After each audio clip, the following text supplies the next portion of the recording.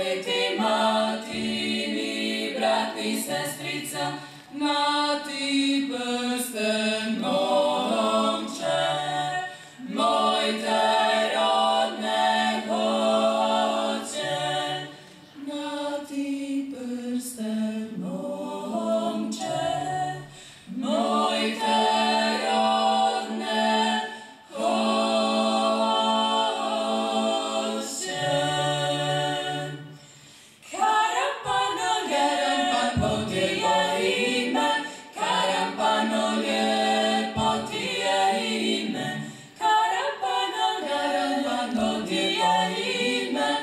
možemo se ponosit sa njime.